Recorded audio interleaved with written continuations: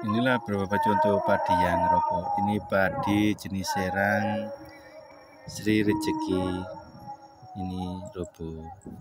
Dan ini padi jenis serang Mutiara juga roboh. Nah, dan yang ini padi sejenis kabir ini karena kena serangan jamur dan habis bekas tempat persemaian jadi batangnya itu tidak bisa tinggi. Itu kuat. Nah, ini. Ini padi jenis siam-siam. Ini juga roboh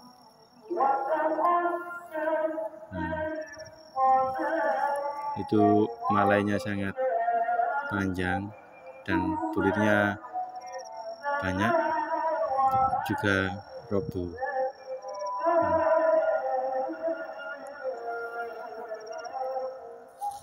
ini padi jenis empat dua juga impari empat dua juga roboh tidak ada yang berdiri hanya di pinggir saja yang berdiri. Tapi tengahnya roboh. Dan ini body jenis serang juga roboh. Nah, hanya pinggir-pinggir saja yang berdiri. Tengahnya roboh semuanya. Dan ini body jenis oplosan Impari 32 dan padi serang mutiara. Jadi saya oplos. Ini pinggirnya roboh semuanya.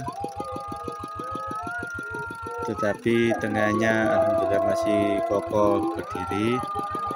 Jadi hanya pinggirnya saja yang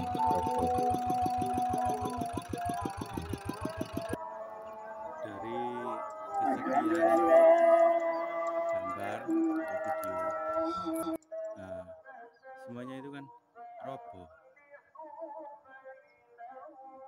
Jadi eh, kesimpulan saya pribadi dari kesekian jenis padi yang roboh tadi itu faktor utama adalah faktor cuaca. Yang pertama, adanya angin yang sangat kencang, ditambah lagi hujan. Jadi sudah hujan, anginnya kencang, jadi banyak yang roboh padinya. Dan kemungkinan juga itu faktor tanah yang terlalu gembur atau sering tergenang air atau airnya itu terlalu uh, tinggi sekitar 30 cm dari tanah. Jadi batang padi itu agak lemas. Alangkah baiknya air itu uh, ya nyemik-nyemik lah atau 5 sampai 10 cm aja dari tanah. Jadi jangan banyak-banyak air.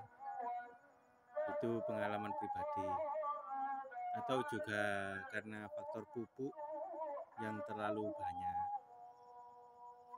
Tentunya pupuk yang uh, mengakibatkan batang pohon jadi lemas itu kebanyakan urea. Jadi ureanya terlalu banyak makanya padi itu lemas.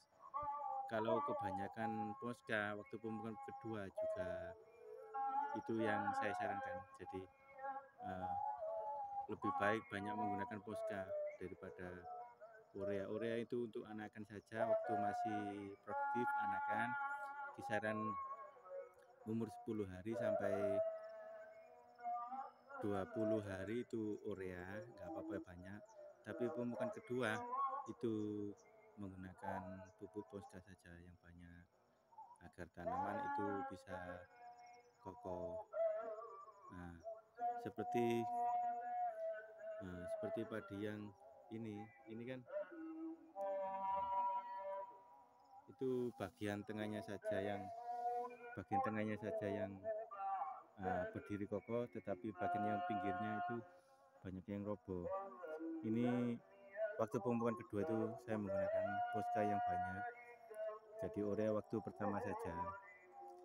Insya Allah kuat seperti ini meski tanahnya nggak pernah kering tapi alhamdulillah masih ada yang berdiri nggak nggak roboh semua. Sekian terima kasih selamat sore semangat petani muda semuanya. Selamat berjaya